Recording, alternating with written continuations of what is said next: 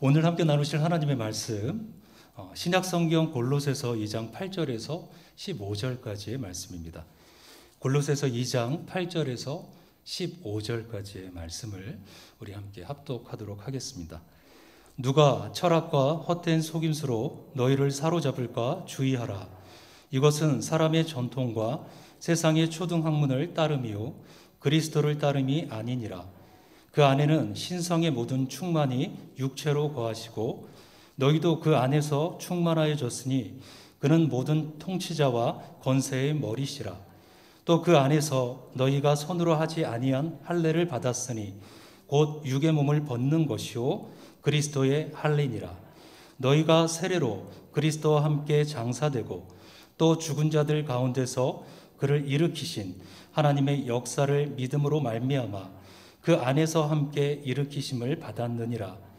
또 범죄와 육체의 무할례로 죽었던 너희를 하나님이 그와 함께 살리시고 우리의 모든 죄를 사하시고 우리를 거스르고 불리하게 하는 법조문으로 쓴 증서를 지우시고 제하여 버리사 십자가에 못 박으시고 통치자들과 권세들을 무력화하여 드러내어 구경거리로 삼으시고 십자가로 그들을 이기셨느니라.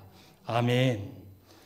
오늘 본문의 말씀을 통해서 우리 플러스 인생이라는 말씀의 제목으로 은혜 나누겠습니다. 우리 옆에 계신 성도님들 바라보시면서 이렇게 인사했으면 좋겠습니다. 플러스 인생을 삽시다. 아멘. 예. 플러스 인생을 모두 사시기를 주님의 이름으로 축원합니다. 아멘. 예, 독일의 복음 전도자인 라인하르트 본케 목사님이라는 분이 이런 의미심장한 말을 하셨다고 합니다. 모든 인생은 마이너스에서 시작한다. 이 마이너스란 이 모자람, 빼앗김, 이 상실 등을 의미하는 이 말입니다. 그러니까 처음부터 행복한 인생은 없다라는 뜻입니다. 이것은 소유의 많고 적음에 대한 문제가 아닙니다. 우리의 환경의 부유함과 척박함에 대한 것도 아닙니다. 이 바로 이 마음에 대한 문제입니다. 많은 것을 가졌음에도 허전하고 또 많은 것을 성취했음에도 채워지지 않는 마음. 이것이 바로 마이너스 인생의 모습입니다. 지금으로부터 거의 20여 년 전에 홍콩에 유명한 배우였던 이 장구경 씨가 자살한 사건이 있었습니다. 공교롭게도 그날이 4월 1일이었습니다. 처음에는 만우절 농담인 줄 알고 많은 사람들이 믿지를 않았습니다. 그렇게 그는 47세의 나이로 세상을 떠났습니다. 장구경 씨는 이 사업을 하는 부잣집 아들로 태어나서 영국에 유학까지 다녀온 엘리트였습니다.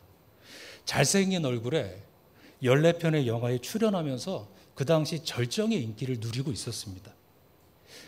그런데 왜 그런 사람이 자살이라는 최악의 수순을 밟았을까요? 그가 그가 출연했던 영화 아비정전의 아비의 정전 중에서 읊조렸던 시 한 편이 그의 인생을 대변하는 것 같습니다. 세상에는 발 없는 새가 있다는데 그 새는 항상 날아다니기만 하다가 지치면 바람 속에서 쉰다고 하네. 새가 일생에 딱 한 번 땅에 내려앉을 때가 있다네. 그때는 죽을 때라네. 여러분, 발 없는 새를 상상해 본 적이 있으십니까? 발이 없기에 이 땅에 내려 쉴 수가 없고, 그렇게 평생을 쉬지 않고 날개짓만 하다가 땅에 내려오는 그날, 세상을 떠나야 하는 그런 비통한 생의 운명, 이것이 장구, 장구경 씨의 삶이었다는 것입니다. 너무나 비관적이고 그리고 허무한 인생관이 아닙니까? 그러나 이렇게 살다가 인생을 떠나는 사람들이 생각보다 많다는 것이죠. 열심히 날갯짓을 하며 쉬지 않고 다니지만 정작 누려야 할 마음의 기쁨을 상실한 인생이 많습니다. 많은 것을 가졌지만 마음의 쉼터를 찾지 못해서 방황하는 인생이 많습니다. 이것이 마이너스 인생입니다. 오늘 우리의 삶은 어떻습니까? 갈수록 힘들고 살수록 허무해지는 인생은 아닙니까? 성경은 하나님께서 본래 인간에게 주신 것은 풍성하고 생명이 넘치는 플러스의 삶이다 말씀합니다. 대표적인 예가 아브라함입니다. 그는 복의 근원으로 부름 받았고 또 땅의 모든 족속이 그로 말미암아 복을 누릴 것이다 말씀하셨습니다. 또 요셉도 마찬가지입니다. 요셉의 이름의 뜻 자체가 더하기입니다. 샘 곁에 무성한 가지가 되어서 그 가지가 담을 넘었다 이렇게 말씀합니다. 그 비결이 무엇이었을까요? 바로 하나님입니다. 하나님을 만나고 그 안에서 그들의 삶을 설계했기에 넘치는 플러스 인생을 살았다라는 것이죠. 오늘 우리도 마찬가지입니다. 세상을 따라 살면 마이너스로 가는 것이고 하나님을 따라 살면 플러스로 가는 것입니다. 우리의 삶은 어느 쪽입니까? 어떻게 하면 상실과 패배의 삶을 청산하고 축복이 넘치는 플러스 인생으로 우리가 살아갈 수 있을까요? 오늘 본문에 보면 두 가지 종류의 길이 소개되어 있습니다. 첫째는 이 빼앗김의 길입니다. 그것이 바로 말씀드린 마이너스 인생입니다. 8절에서 누가 철학과 헛된 속임수로 너희를 사로잡을까 주의하라. 이것은 사람의 전통과 세상의 초등 학문을 따르며 그리스도를 따름이 아니니라. 이렇게 말씀합니다. 헛된 속임수라는 말과 사로잡는다라는 말이 나옵니다. 헛된 속임수란 겉모양은 그럴듯해 보이지만 사실은 속이 텅텅 비어 있는 가짜를 말합니다. 이것이 세상 철학의 본질입니다. 화려하고 좋아 보이지만 따라가 보면 아무것도 없습니다. 세상의 성공 철학이 외치는 소리가 이런 것들이 아닙니까? 학벌이 최고야. 그것만 가지면 성공이 기다리고 있어. 권력이 최고야. 돈이면 다 돼. 거짓말 좀 하면 어때? 좀 속이면 어때? 이런 허황된 삶의 철학이 우리 인생을 어떻게 한다는 것입니까? 사로잡는다라고 말씀합니다. 포로로 삼아서 빼앗고 탈취한다는 것입니다. 이것이 상실을 향해 가는 마이너스의 길인 것입니다. 반면에 예수님의 십자가가 열어준 길은 플러스를 향해 가는 길입니다. 13절에서 15절의 말씀을 보면 또 범죄와 육체의 무할례로 죽었던 너희를 하나님이 그와 함께 살리시고 우리의 모든 죄를 사하시고 우리를 거스르고 불리하게 하는 법조문으로 쓴 증서를 지우시고 제하여 버리사 십자가에 못 박으시고 통치자들과 권세들을 무력화하여 드러내어 구경거리로 삼으시고 십자가로 그들을 이기셨느니라. 아멘. 여기에 십자가가 열어준 축복의 길이 어떤 것인지 잘 나타나 있습니다. 첫째로 생명의 길을 열어 놓았습니다. 이제 우리 모두는 주님 안에서 살게 됐습니다. 둘째로 자유의 길이 열렸습니다. 모든 율법의 얽매임에서 해방되었기 때문입니다. 그리고 승리의 길이 열렸습니다. 악한 대적들을 무장해제시켰기 때문입니다. 그러므로 주님이 열어주신 이 십자가, 십자가의 길을 따라가면 갈수록 풍성하고 갈수록 아름다워지는 삶을 누리게 된다는 것입니다. 오늘 우리는 어떤 길을 택하고 있습니까? 함께 주님이 열어주신 이 플러스의 길로 달려갈 수 있기를 주님의 이름으로 축원합니다. 그렇다면 어떻게 할 때 주님이 열어주신 이 플러스의 길을 향해 우리가 달려갈 수 있을까요? 먼저 우리의 옛 자아를 벗어버려야 한다는 것입니다. 플러스의 인생을 살려면 먼저 마이너스 삶에서 돌아서야 합니다. 새 옷을 입으려면 헌 옷을 벗어야 하는 것처럼 새 길을 택하려면 우리가 옛 생활을 벗어버려야 한다는 것입니다. 11절에서 바울은 그것을 할례를 받는 것으로 설명을 하고 있습니다. 또 그 안에서 너희가 손으로 하지 아니한 할례를 받았으니 곧 육의 몸을 벗는 것이요 그리스도의 할례니라. 이스라엘 사람에게 있어서 할례란 육체의 일부를 잘라내는 것을 의미했지만 여기서는 옛 자아를 잘라냄으로써 새 사람이 되는 것을 뜻합니다. 이것을 그리스도의 할례다 말씀합니다. 즉 그리스도 안에서 옛 생활을 청산하고 새 삶을 향해 나가게 된 것을 말씀합니다. 이 변화의 결단이 없이는 결코 하나님께서 주시는 새로운 축복을 맛볼 수 없다는 것입니다. 그 좋은 예가 여호수아 5장에 나와 있습니다. 이스라엘 백성이 가나안 정복을 목전에 둔 시점에서 하나님은 그들에게 할례를 행하도록 하십니다. 얼핏 보면 이 명령이 납득이 가지 않을 수 있습니다. 여리고성 공격을 앞둔 곧 벌어질 전쟁과 정복을 앞둔 중대한 시점이었기 때문입니다. 하나님께서 왜 이런 명령을 내리셨을까요? 바로 그들이 지난 40년 동안 광야를 통과하면서 쌓았던 불순종과 원망의 옛 생활을 청산하지 않으면 새 축복의 땅에 들어갈 수 없기 때문입니다. 오늘 우리의 삶도 마찬가지입니다. 새로운 축복을 받기 전에 먼저 깨끗한 그릇을 준비해야 합니다. 새 승리를 맛보기 전에 먼저 세상을 따라 살던 옛 자를 십자가에 못 박아야 합니다. 그렇지 않으면 패배의 수렁을 벗어나지 못한 채 결국 제자리를 맴돌게 되는 것입니다. 호주의 감옥에 살던 죄수 하나가 이 감옥에서 탈출할 계획을 세웠습니다. 오랫동안 이 관찰한 결과 매일 정해진 시간에 식빵을 나르는 트럭이 이 감옥 안으로 들어온다는 사실을 알게 됐습니다. 어느 날 드디어 그 트럭 밑에 몰래 들어가서 몸을 숨기는데 성공했습니다. 트럭이 나갈 때 그 밑에 붙어 함께 감옥을 빠져 나왔습니다. 트럭이 30분 정도 달리다가 멈추자 그 재수는 이젠 됐다 생각하고 트럭 밑에서 나왔습니다. 그랬더니 두 가지 뉴스가 그 재수를 기다리고 있었습니다. 하나는 좋은 소식이고 하나는 나쁜 소식이었습니다. 좋은 소식은 그가 드디어 감옥에서 빠져나왔다는 사실입니다. 나쁜 소식은 나와보니 그것이 또 다른 감옥 아니었다는 것입니다. 결국 그는 이 감옥에서 저 감옥으로 옮겨간 것 뿐이었습니다.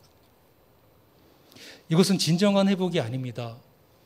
불행하게도 오늘날 이런, 이런 가정을 반복하는 사람들이 많다는 것입니다.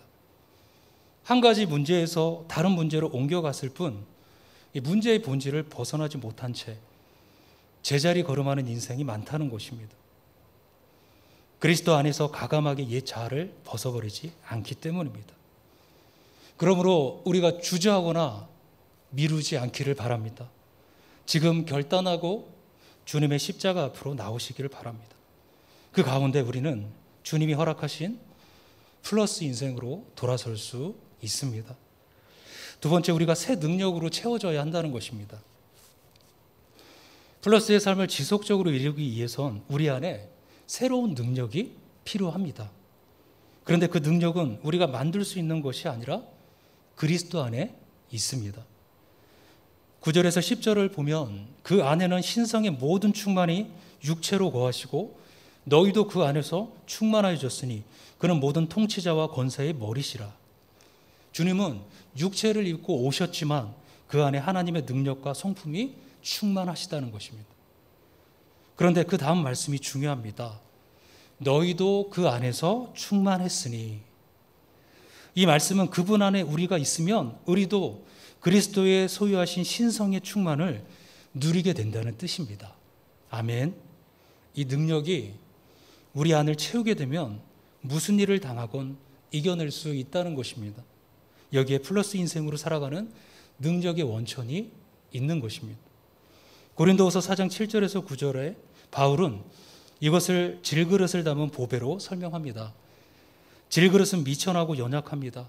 깨지기 쉽고 약간만 건드려도 상처나고 부서집니다. 그런데 그 안에 보배이신 그리스도를 담으면 달라집니다.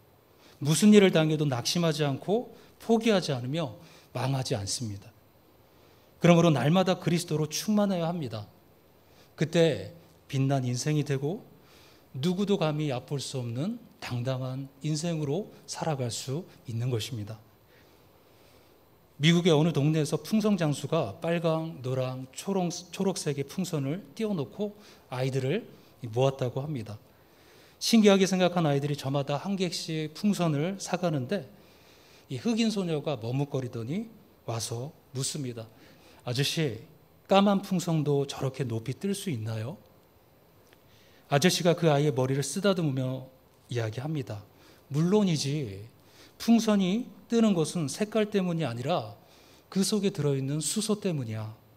바른 것을 품으면 누구나 높이 하늘을 향해 오를 수 있단다. 그렇습니다. 몰락한 우리 인생은 스스로의 힘으로 높이 날 수 없다는 것입니다. 그러나 그리스도의 능력이 우리를 가득 채우면 비상할 수 있습니다. 더 높은 꿈을 향해 마음껏 날아오르게 되는 것입니다. 마지막으로 우리에게 필요한 것은 믿음의 선포입니다. 마이너스로 가던 인생이 플러스로 돌아서는 것은 쉽지 않습니다. 그러나 옛 자아를 벗어버리고 새 능력의 원천이신 그리스도를 마음에 품으면 우리의 인생은 달라질 수 있습니다. 그러나 그것만으로 충분하지 않습니다.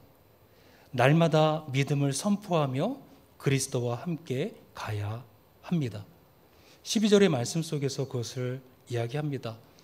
바울은 이것을 세례의 개념으로 설명하면서 하나님의 역사를 믿음으로 말미암아 그 안에서 함께 일으키심을 받았느니라 이렇게 말씀합니다.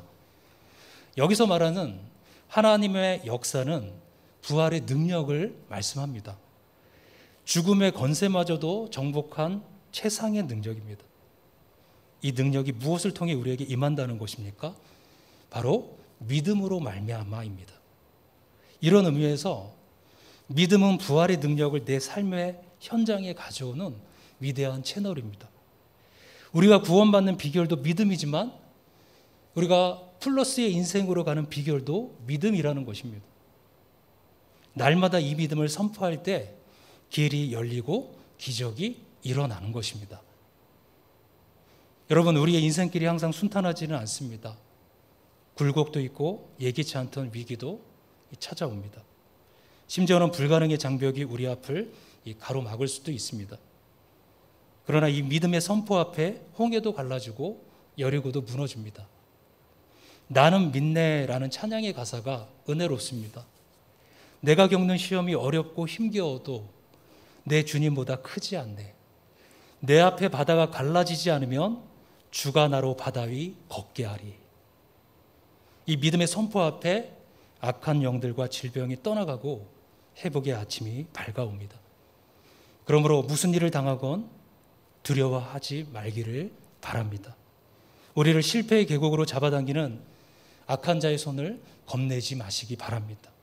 믿음으로 선포하면 떠나갈 것이기 때문입니다. 오래전에 미국의 발명가 토마스 에디슨이 에디슨에 대한 이 전기가 이 발간되었습니다. 이 특별한 것은 그 전기가 그의 아들 찰스 에디슨이 썼다는 것입니다. 그 책에 67세의 에디슨이 67세가 됐을 때의 일화가 소개가 되고 있습니다. 그의 겨울에 에디슨이 실험실에 어, 불이 났습니다. 그 안에 있던 온갖 기재들과 이 화학 용품들 그리고 그가 심혈을 기울여 만든 작품들이 큰 불꽃을 이루며 타올랐습니다. 이것을 본 그의 아들 찰스는 아버지가 염려됐습니다. 혹시 다치지 않으셨나? 자신의 모든 것이 불더미에 타는 것을 보고 낙심이 되셨을 텐데 더구나 67세의 나이에 다시 시작하는 것이 쉽지 않을 텐데 이런 생각으로 염려를 하고 있을 때 에디슨이 실험실에서 달려 나오며 외쳤다는 것입니다. 네 엄마가 어디 있니? 빨리 가서 엄마를 데려와. 친구들도 모두 데리고 오라 그래. 이처럼 찬란한 불꽃은 그들 생전에 다시 볼 수 없을 거야. 여러분 믿어지십니까? 지금 67년간 쌓아왔던 자신의 모든 것이 잿더미가 되고 있는데 하나님을 원망하거나 화제를 원망하는 것이 아니라 아들아 엄마를 데려와 이건 믿기 힘들 정도로 굉장한 구경거리야 라고 말하고 있는 것입니다. 이 말을 듣고 의아한 표정으로 서 있는 아들에게 토마스 에디슨이 말했다고 합니다. 아들아, 이 불은 어차피 우리가 끌 수 없는 불이다. 그러나 불길이 찾아왔다고 해서 웃음마저 일어서야 되겠니? 하나님이 도우시면 다시 시작할 수 있어. 어느 전기 작가가 소문을 들어 쓴 것이 아니라 그의 아들의 증언이기에 이 이야기가 더 신빙성이 있으리라 생각됩니다. 그러면서도 쉽지 않은 극한의 상황이다라는 생각 또한 듭니다. 그러나 이것이 플러스 인생이 무엇인지를 생각하게 합니다. 무슨 일이 벌어지건 하나님 안에 있으면 염려할 필요가 없다는 확신, 그리고 그분이 능력을 주신다면 다시 일어설 수 있다는 믿음. 이것이 바로 우리 인생을 일어나게 하고 달리게 하는 것입니다. 말씀을 정리합니다. 오늘 우리의 삶은 마이너스를 향해 가고 있습니까? 플러스를 향해 가고 있습니까?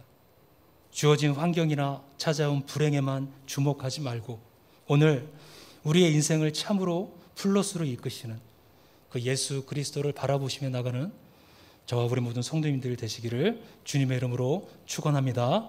함께 기도하겠습니다. 살아계신 하나님 아버지 감사드립니다.